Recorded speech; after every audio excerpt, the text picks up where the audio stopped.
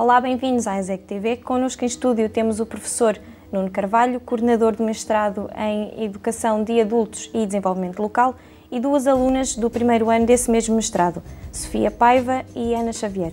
Olá a todos. Uh, Nuno, em que consiste uh, este mestrado? Este mestrado em Educação de Adultos e Desenvolvimento Local, conforme diz o nome, procura conciliar precisamente essas duas vertentes. A vertente de Educação de Adultos, que é um processo educativo que, portanto, por método, que pode ser ministrado por métodos de educação formal e educação não formal, em diversos contextos, em escolas, em coletividades, em associações, noutras instituições, e a vertente do desenvolvimento local, é um processo de desenvolvimento virado para as questões locais, baseado e assente em, nos recursos locais, nos recursos endógenos, nos recursos materiais, nos recursos humanos, etc. Porquê conciliar estas duas vertentes? na nossa perspectiva, a educação e o desenvolvimento são duas faces de uma mesma moeda. Eh, e, portanto, a educação potencia o desenvolvimento, o desenvolvimento potencia a educação e nós achamos que no contexto do local, no contexto territorial local, faz todo o sentido juntar estas duas vertentes. Porque a educação de adultos? Porque nós sabemos eh, que a educação e a formação ao longo da vida é muito importante, sabemos também quais são os nossos, os nossos índices de literacia e achamos bastante importante o desenvolvimento dessa componente no contexto do desenvolvimento local. Daí termos avançado com este, com este mestrado, também um pouco na sequência do nosso curso de animação socioeducativa, no sentido também de reforçar essa componente, mas ele é dirigido a, a outras, a, outras, a outras vertentes surgiu como complemento ao curso já existente de, de animação socioeducativa? Surgiu, surgiu inicialmente como componente a essa vertente, sobretudo após o processo de Bolonha, é, porque o nosso, a nossa licenciatura anterior de desenvolvimento local é, portanto, incluía um trabalho final e tinha uma componente é, de investigação mais avançada que agora não é possível e nós achamos que essa componente de investigação nestas áreas é bastante importante. Mas o curso está pensado para ser dirigido a outras áreas de formação, que não só aos nossos licenciados de animação, mas também aos licenciados de animação comunitária, licenciados de, de educação social, de outras áreas das ciências sociais, da comunicação, do, do turismo e lazer, etc. Portanto, procuramos que tenha essa abrangência.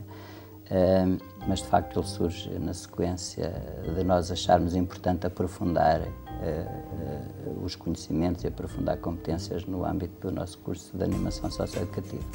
Sofia, tu foste um destes casos, tu já eras, tu foste aluna de, do curso de, de, animação socioeducativa, porquê é que decidiste uh, ingressar neste mestrado? Uh, eu quase no fim do terceiro ano não, não, não queria fazer o mestrado logo, uh, mas depois, quando entrei para estágio e estive a fazer estágio na área do desenvolvimento local, tinha conhecimento do, do, do, mestrado, como é, como é lógico, e, e então foi como um flash.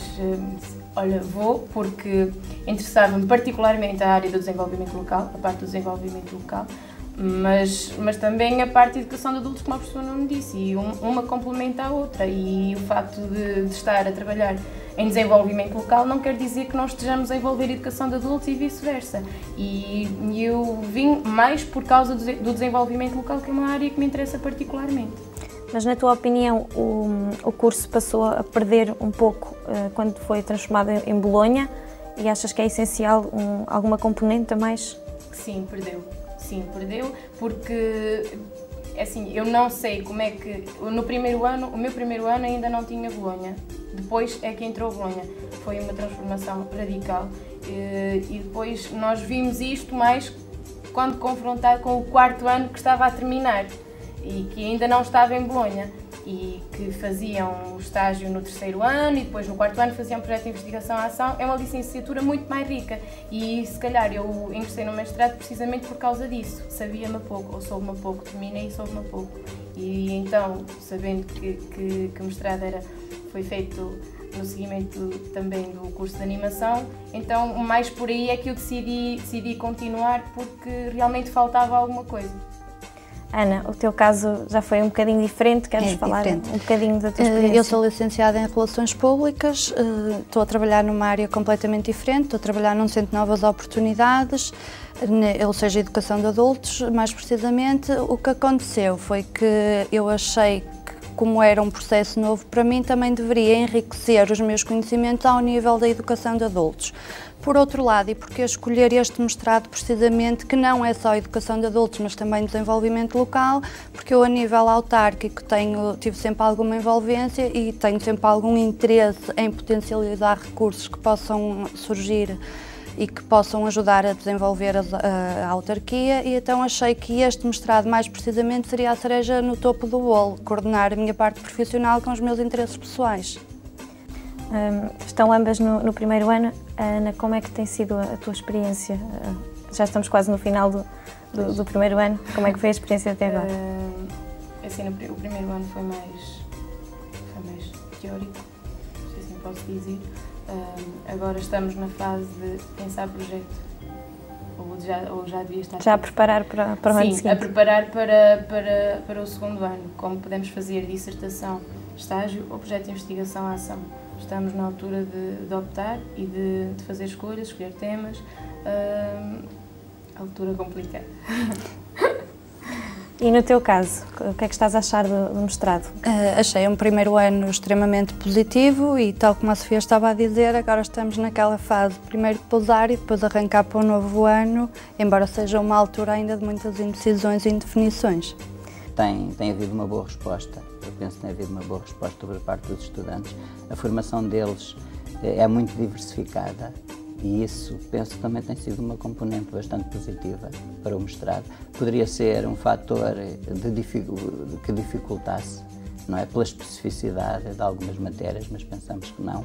Mas é inevitável que haja uma componente teórica mais ou menos forte, até pela diversificação de, de, formações que nós temos no mestrado e, portanto, temos de transmitir a formação de base para depois se poderem desenvolver projetos, eh, esses sim, que vão enraizar e vão aprofundar e vão pôr em prática eh, as competências adquiridas e pensamos que poderão ser uma ponte para os projetos futuros nos seus locais de trabalho, nos empregos.